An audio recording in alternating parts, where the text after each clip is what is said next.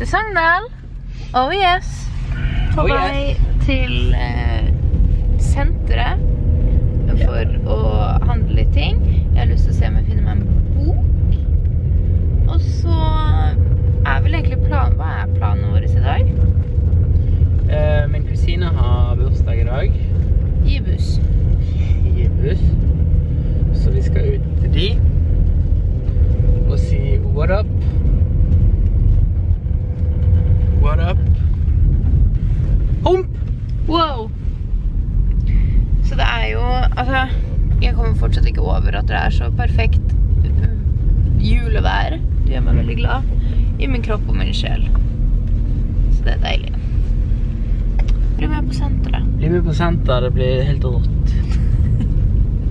Vi skal sørge for at det blir helt rått. Um, ja, nei, jeg tenkte jeg skulle prøve å komme på noen rampestreker som jeg gjorde her før. Ja? Da jeg var liten, men jeg kommer ikke på noe, for jeg var en ganske kjedelig dude, egentlig. Det er ikke helt sant. Pysete og kjedelig, så... Du var så flotte. Så masse hår. Så masse hår. Så flotte gutt. Bjarte hadde faktisk gutt. Bjarte hadde faktisk dreads før. Det snakka vi litt om i går. Lange lokker med flotte dreads. Og det er jo morsomt syn. Sogndal sentrum. Sjå. Vekkelig julaften.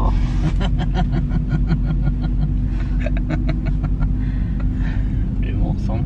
Takk. Du er artig. Du er en artig jente, du. Så flotte jente. Kjekk og greie jente du er. Vi ses der. Her blir det murning. Han blir så, han blir så, så, så vant med det, vet du. Mhm. Så er det som om det ikke er der. Velkommen til Sogndal Quiz. Kafé Sogningen og Sogndal Quiz. Det er litt dumt eh, at vi sitter den veien her for dette. Hvis vi hadde sittet andre veien, så hadde vi fått lyset i fjeset. Ja, det er det jeg også tenkte. Skal vi gjøre det? Jeg tror kanskje vi skal det. Ok, da bytter vi. Der er det bare en eh, rask eh, Location switch. med studios, så ses vi på andre siden. Mye bedre. Da er det kanskje bedre å ha den sånn, da, eller? Se hvor flott det treet. Skal jeg sitte på snøen? Quize deg, eller skal jeg quize seerne? Mm. Quiz meg, du, så kan seerne være med. Ok. Eh, hva er nummeret til Colosseum tannlege? Hvis jeg husker riktig, Ja. så er det 57, Ja. 67, 77, 87. Jøss! Det var et bra nummer de hadde. Hvor på kroppen finner man knissaboti? Knissaboti. Mhm. Knissaboti. Det er kneet. Nei. Bak kneet. Bak kneet. Der har du den. Ding, ding, ding, ding, ding. Ternekast bra. Hvis du får fem poeng, så får du en sus. Um, Å, jeg håper jeg får fem poeng! Hva er en mehank? Me. En mehank? Kan du bruke den i en setning? Sjau, en mehank! Er det et adjektiv, substantiv eller et Det er en av mine store svakheter, at jeg har ikke peiling. adjektiv? Det er adjektiv historie. Nei, det er ikke et adjektiv. Det er ikke et verb. Det er substantiv. Substantiv er en ting. Ja, substantiv. Eh, Er det en eh, henger? Nei. Er det Er det en del av kroppen? Nei, det er en levende ting. En levende ting? Ja. Er det et insekt? ja. Slange? En, en Edderkopp? slange kryper ikke. Edderkopp? Eh, ja, det er en slags edderkopp. Det er de der stankelbeinene Ah, med hånd. med hånd. Hva heter det dersom mamma og pappa bor. Men Rett opp i svingen. Ja, noe sånt. Men det er ikke det. Her oppe i Fognedali. Det er riktig forvokst da. Hvor Jordal synger. sånn blir det foreldre snakker. Ja. Fassenkava. Kassenkava. Nei. Nei. Du kommer ikke til å få sussen. Du kommer ikke til å kunne få fem poeng. Du fikk jo feil på Fosshaugen. Du har allerede tapt. Ok, siste spørsmål har vært to poeng. Kjærester. Siste spørsmål har vært to poeng.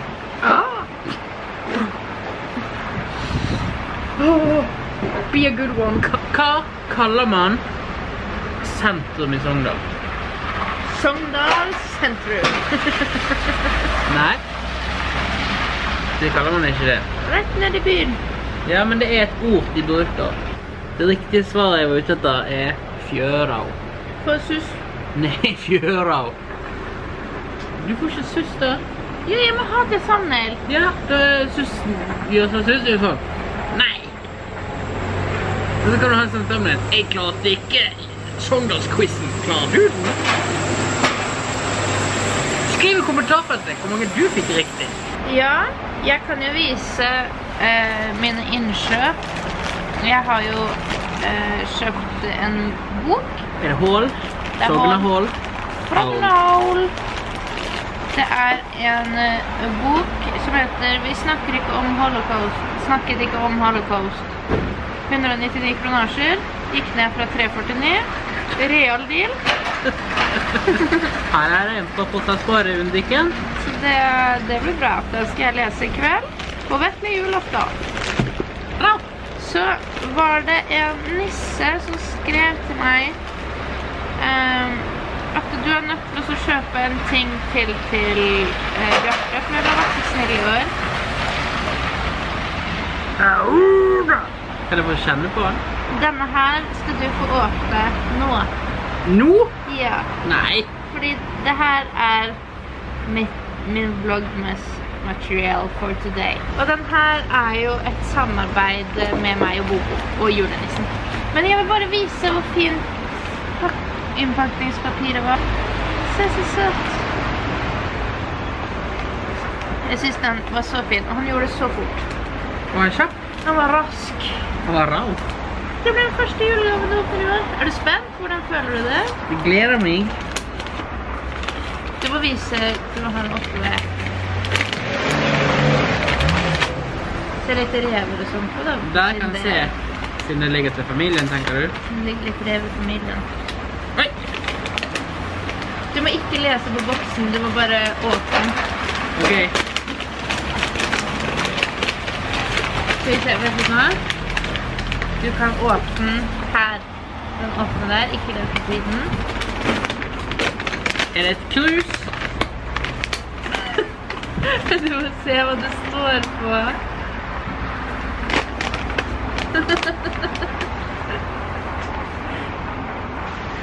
Be the person your dog, dog thinks you are. Er ikke den ganske koselig? Var koselig. Takk. Cornelia, Bobo og Julis. ja. Takk til alle tre. Er du ikke så glad for den? Jo, jeg er befalt.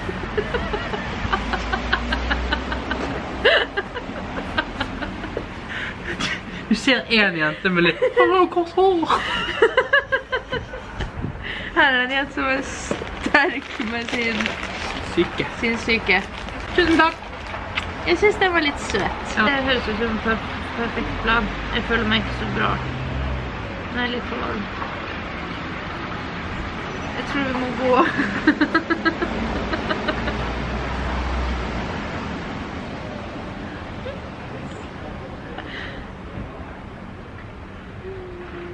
Ha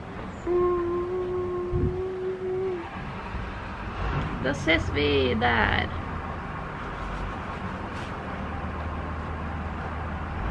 Ha det. er det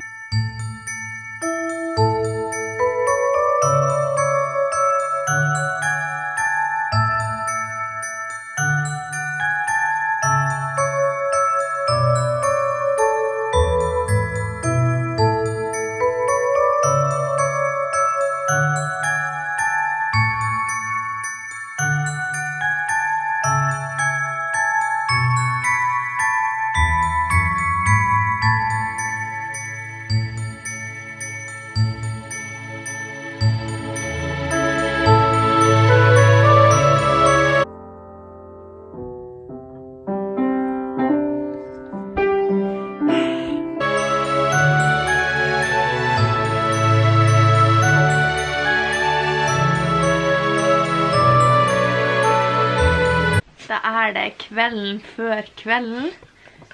Og Vi er spente og tøkt in bed. Og greier nesten ikke å sove. Fordi magen. vi har vondt i magen. Vi gleder oss så mye til å se. Hva er det som egentlig gjemmer seg under treet? Hva er det du ønsker deg til jul? Den, den tok vi i går. Ja, Så vi venter og tar en av. Vi kan gå bort til en som gleder seg masse. Her har vi Bjarte. Han er en juleelsker. Her har vi Bobo. Hun holder på å grave litt. Så det er litt dårlig tid. Så vi ser så er det.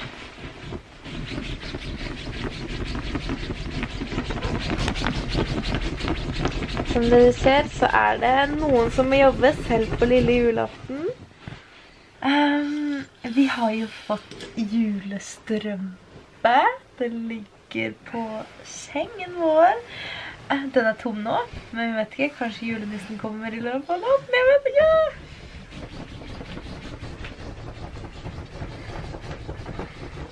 Hva gjør du Bobo? Har du hatt en fin dag? Vi har spist kake. Opptil flere kaker. Vi har spist kake, vi har spist ribbe, Vi har spist vi har spist Brød. skinke, vi har spist lammelår, eller fårelår. Vi har spist sylte. Jeg gleder meg til jul! Jeg ønsker deg alle en så god jul. Jeg Jeg håper dere får alle de tingene dere ønsker. Ja, i hvert fall det dere ønsker dere mest. Jeg håper de får alle tingene. Jeg håper dere får det dyreste dere ønsker dere. Mm, det aller fineste. Jeg håper dere spiser dere gode mette. Bjørne er blank på nesen. Og når det er vi og snor, Blir han så rød på snoten La det lyse som en glo Når du ren nese, ikke en eneste bus i den. Ikke som på Ramstein. Etter Ramstein-konserten så har den vel aldri aldri... sett en bus igjen. Sånn som Michael Jackson så det. Michael Jackson! Kan jeg få lov å sove nå? Har du så lyst til å sove så det blir fort mor? Ja.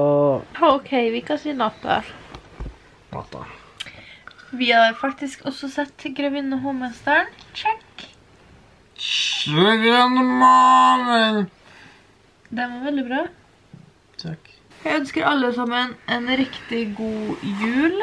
Dette det her er nå slutten på eh, Vlogmas. Den dagen dere ser på det her, så er det jo Altså, jeg skal filme i morgen òg. Og så kommer det en eh, What We Got For Christmas på søndag. Jepp. Og så er vi i den. Så skal jeg ta meg et par dager fri. Det hadde jeg har gjort hvis jeg var deg. Så tusen takk for nå. Håper du har en nydelig jul. I love you. Vi ses igjen i morgen. Og goodbye. Good night. God natt. Love you. Da.